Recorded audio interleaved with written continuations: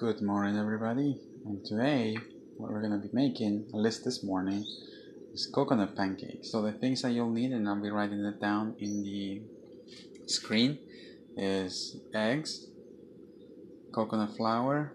Optionally, you're gonna need chia seeds or flax seeds.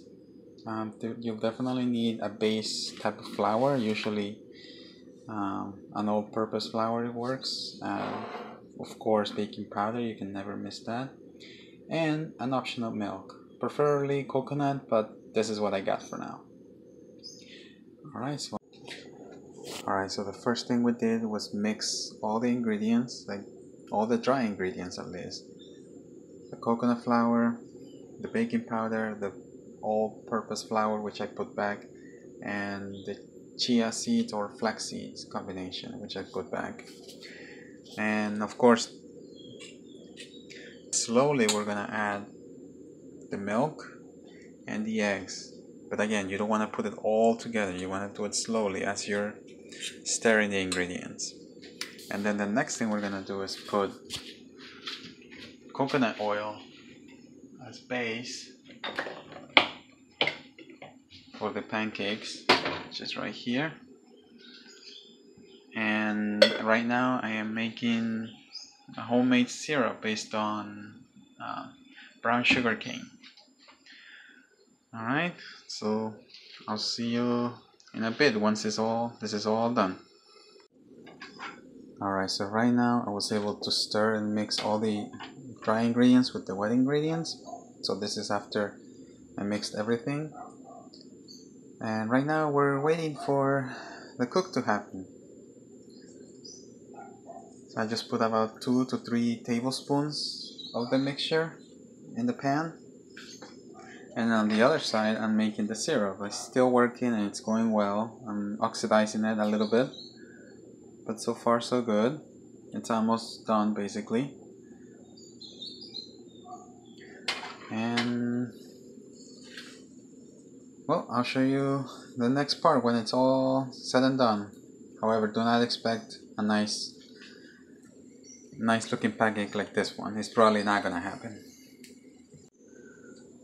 So surprisingly it's, it's looking nice which is kind of a first to be honest.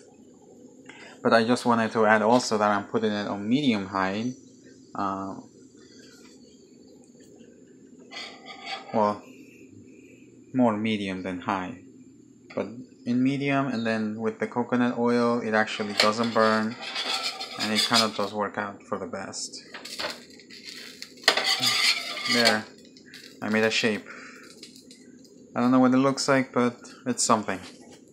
Alright guys I'll see you when I'm done. Alright so with this part I just want to end the video to thank you tell you thank you. And before uh, we close the video I want to show you how it ended up being so here's the pancake. It kind of looks like a smiley face. Well, in my view. And here's the syrup. And that's actually enough. You just need to put a little bit of syrup in each piece of the pancake and it's enough. Trust me, it's very sweet. Um, I'm gonna be finishing up this one after this is done and it's just about a minute or so. And I also want to tell you about the benefits because as a natural doctor, I think it's important to let you know also the benefits of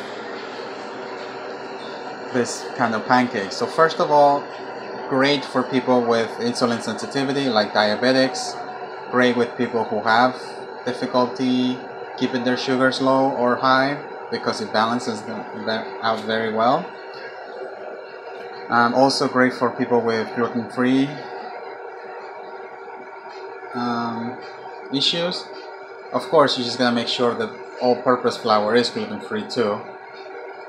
And the other thing from an Indian Tibetan perspective is this kind of pancakes are good for mornings because morning is a, what they call a vata, a vata time.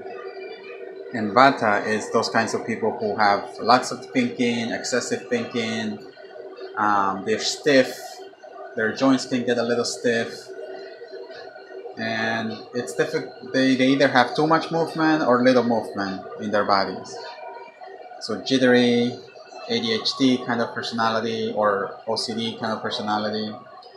So try it out. Alright, and with this, we'll see you on the next one.